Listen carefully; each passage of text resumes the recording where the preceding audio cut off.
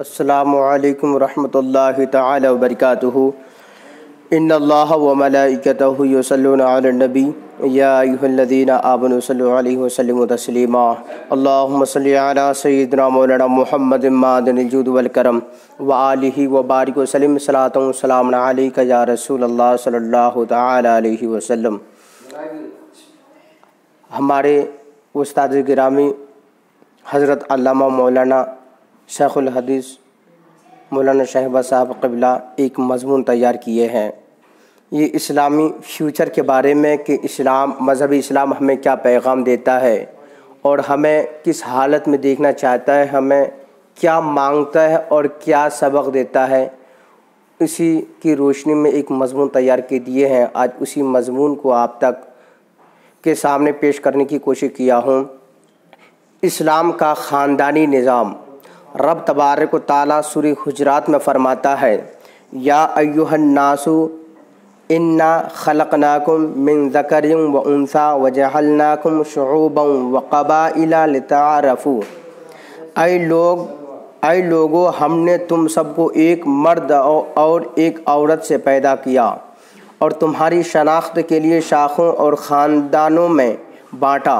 फिर सास बहू का झगड़ा, नंद भाव का झगड़ा देवर भाव देवर भाभी का रंगीन उखाड़ा, भांजा व भतीजा का खटपट फैमिली, मेंबर्स और रिश्तेदारों के माबेन रसाकशी व ना, व चाक़ी वालदेन का औलाद के दरमियान अदम मसावत, गैबत चुगली और इल्ज़ाम तराशी, व बेहयाई, बेपर्दगी और बाहमी खींचा तानी व बहतान तराशी, मकरू फ़रेब और इस्तकबार इस्तेजा दस्त दराजी आबरू आबरू, रेजी और बेहरमती।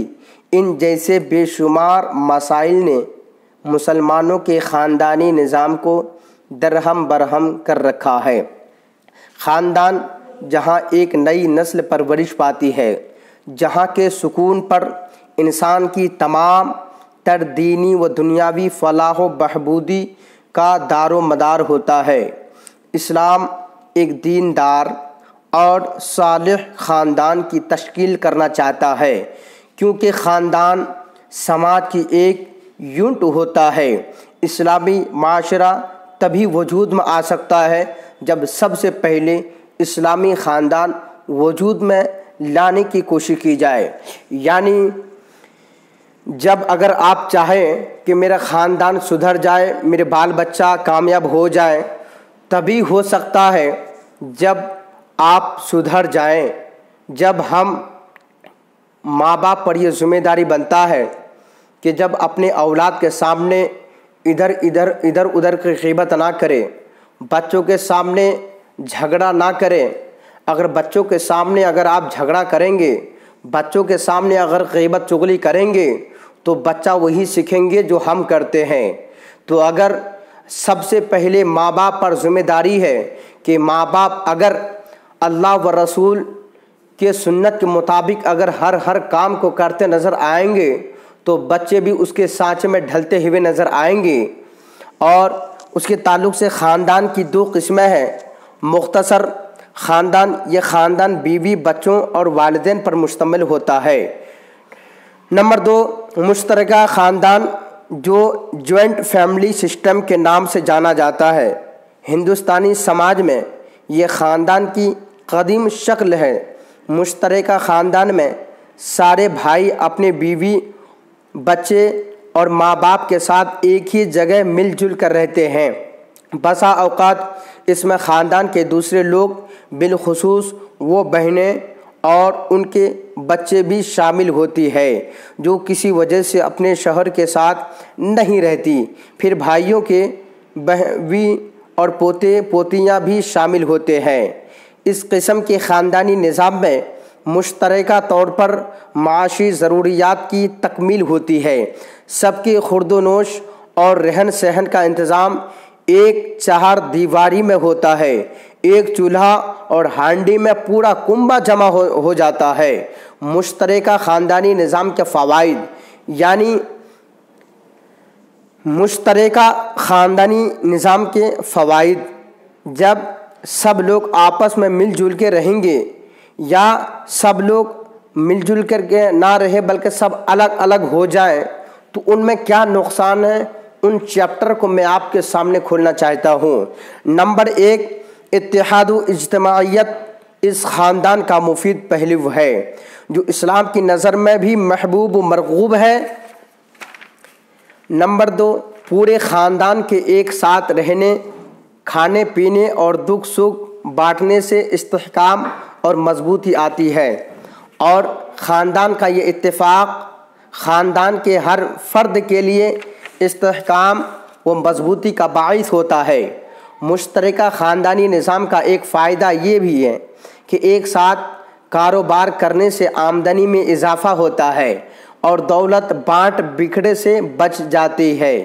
ज़यीफ़ वालदेन और ख़ानदान के कमज़ोर अफराद की निगहदाश्त यानी जब सब आपस में महब्बत उल्फत के साथ मिलजुल कर रहेंगे, वो फैमिली जो आपस में मिलजुल कर रहने से इतने सारे फ़वाद हैं कि फजूली खर्च से बच जाते हैं और उसमें बरकत नज़ुल होने लगती है। और इस्लाम में खिदमत वालदेन की जो अहमियत है, वो इस बात से आया है कि आज कुरान मजीद में बारह मकाम पर वालदेन के साथ हसन सलूक करने की ताकीद वारद हुई है। हदीस में भी वालदेन की निगहदाश्त करने का हुक्म मिलता है। मुश्तरका ख़ानदानी निज़ाम में वालदेन की देखभाल और निगहदाश्त बहुत खूब होती है और वालदेन भी सारे बच्चों के साथ रहने में सुकून महसूस करती है। नंबर चार, कमज़ोर की देखभाल।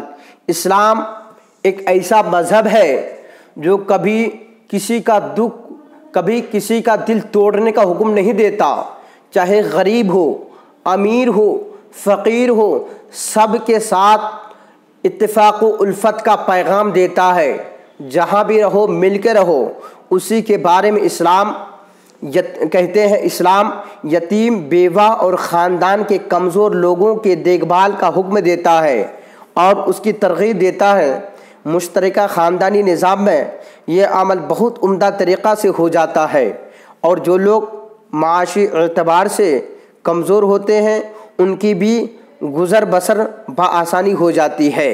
मुश्तरका ख़ानदानी निज़ाम के नुकसान उसके नुकसान उसके फ़वाद से कहीं ज़्यादा हैं। शर्य नुक़ नज़र से इस इस निज़ाम में बड़ी बेअतदालियाँ और नाहमवारियाँ पाई जाती है। माँ, इसमें बेशुमार नफसियाती, माशरती जिनसी और माशी मफासद भी शामिल है।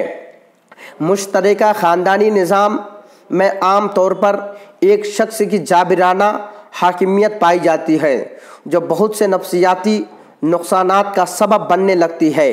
इस निज़ाम ख़ानदान की नफसियाती नुकसान का दूसरा पहलू ये है कि नजी ज़िंदगी का तहफ़ और परा पराविशी न होने की वजह से अफराद बेतमानी की कैफियत से दो चार हो जाते हैं, क्योंकि इंसान फितरी तौर पर हुर्रियत पसंद वाक़ हुआ है और वह सख्त इज्तमाहीत में भी इनफरादियत का ख्वाह होता है और बेपना मशगूलियत में भी तनहा का मुतनमा होता है। अल्लाह पाक ने इंसान की अजीब खिलकत बनाई है। वह सब के साथ रहते हुए भी अकेला रहना चाहता है। और तनहाई में भी वह अकेला नहीं होता। हर शख्स की अपनी शनाख्त है, अपना ज़ौक़ और मजाज, अपने मसाइल और ज़रूरियात हैं। कोई शख्स भी ज़िंदगी के किसी मरहले पर इसलिए रजामंद नहीं है कि उसकी शनाख्त कम हो जाए और उसके ज़ौक़ व मजाज और शख्सी मसाइल को दूसरों के खातिर नज़रअंदाज किया जाए। हर अतदाल पसंद इंसान चाहता है कि वह दूसरों के काम आए, मगर दूसरों के खातिर खुद उसकी शख्सियत फना न हो जाए। आम इंसानी अकदार का लिहाज व एहतराम ज़रूरी है, मगर उसकी अपनी परावियों, वियों सी भी ख़त्म ना हो।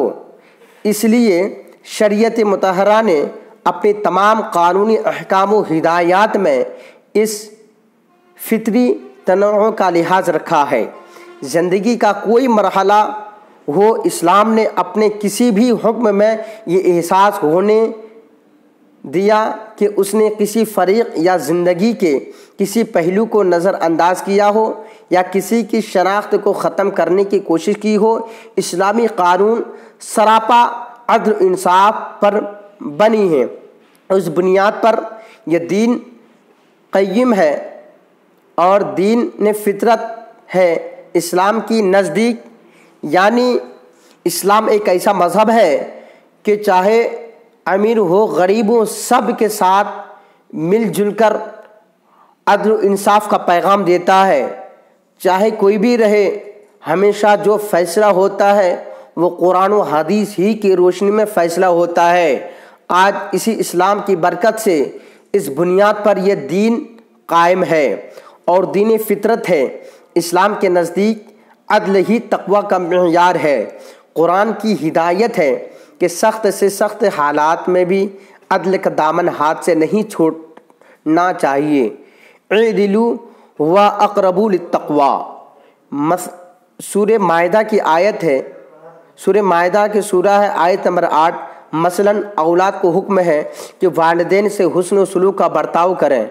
और उनको उफ भी ना कहें। और वालदेन को हुक्म है कि औलाद के दरमियान इंसाफ करें। वर रजुलु राइन फ़ी अहलिही व मसऊल फ़ी रैयती आदमी अपने घर वालों का निगरा है। इससे उसकी रैयत के बारे में बाज परस होगी इसी तरह निकाह के मामला में वालदेन को हुक्म है कि बालिगा का निकाह उसकी मर्ज़ी के बगैर न किया जाए, वरना निकाह दुरुस्त न होगा। दूसरी तरफ़, लड़की को मुतंबा मुतनबा किया गया गया कि वालदेन के मशूरे के बगैर निकाह ना करें। इन मिसालों से वाज है कि इस्लाम में हर तबका की रियायत इस्लाम किसी को भी जबरन इस्तबदाद की इजाज़त नहीं देता, बल्कि इस्लाम दो तरफ़ा हिदायत देकर लोगों के हकूक़, उनकी शनाख्त और तरजीहत का तहफ़ किया है, ताकि हर शख्स की ज़ातियात भी महफूज रहें और इज्तमाहीत भी बरकरार रहे। जबकि मुश्तरक ख़ानदानी निज़ाम अदल तस्कीन के अतबार से भी नफसियाती नुकसान का बायस होता है।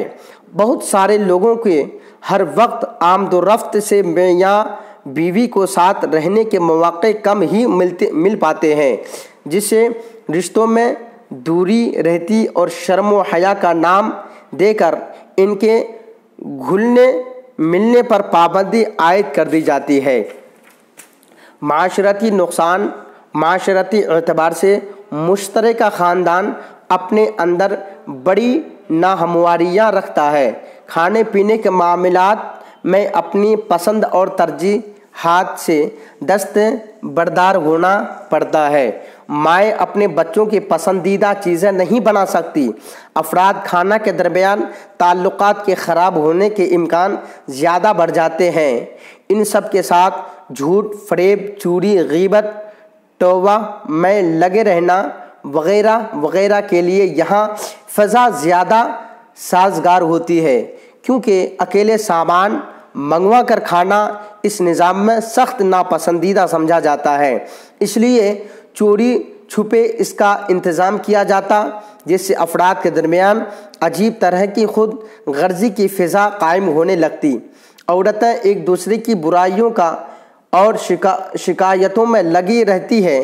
काम काज को लेकर कोई ज़िम्मेदारी महसूस नहीं करता।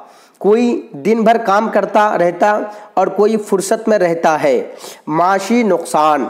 अगरचे मुश्तरक ख़ानदान में कमज़ोर अफराद की भी परवरिश हो जाती है, लेकिन उस निज़ाम में घर के बहुत सारे लोग नाअहल और काहिल बन जाते हैं, क्योंकि उसकी ज़रूर, ज़रूरियात ज़िंदगी की तकमील होती रहती है। चुनाच ऐसे घरों में कमाने वाले कम और खाने वाले ज़्यादा होते हैं। कमज़ोरों और मजबूरों के साथ ताउन करने को इस्लाम मुस्तहसन करार देता है। लेकिन आ, अगर ये सेहतमंद और हट्टे कट्टे लोगों को नाअहल बना दे तो ये इस्लाम के रवैये के मुनाफी है। उसके अलावा मुश्तरका ख़ानदान में चूँकि माल को मुश्तरका तौर पर खर्च किया जाता है, जिसके नतीजे में हर शख्स उसे गैर का माल तस्वुर तस्वुर करके बेदर्दी से इस्तेमाल करता है। चुनाच सामान का ज़्या, ज़्यादा होता है और सामान जल्दी ख़राब भी हो जाता है। अब तीनी नुकसान इस निज़ाम ख़ानदान से मरबूत अफराद के लिए बाज़ दीनी तकाज़ों की तकमील मुश्किल हो जाती है। जैसे फ़र्ज़ नमाज़ों की कज़ा, ख़ास तौर पर फ़जर की नमाज़ मियाँ बीबी के लिए इंजाम देना मुश्किल होता है।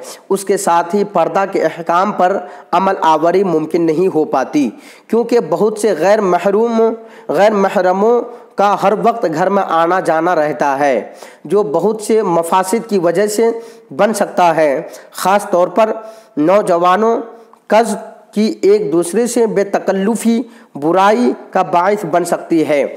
मुश्तरका के ख़ानदान के दीनी नुकसान का एक पहलू ये भी है कि मुख्तलिफ़ अफराद की कमाई का मैार अलग अलग होता है, लेकिन मुश्तरका कमाई से जब कोई जायदाद ली जाती है तो बाद में तकसीम जायदाद के वक्त सबको बराबर मिलती, जिसमें मुमकिन है कि ज़्यादा कमाई वाले को कम मिले और कम कमाई वाले को ज़्यादा, जो इंसाफ के ख़िलाफ़ है और नाहक तरीक़े से गैर का माल खाने के मुतरदफ है।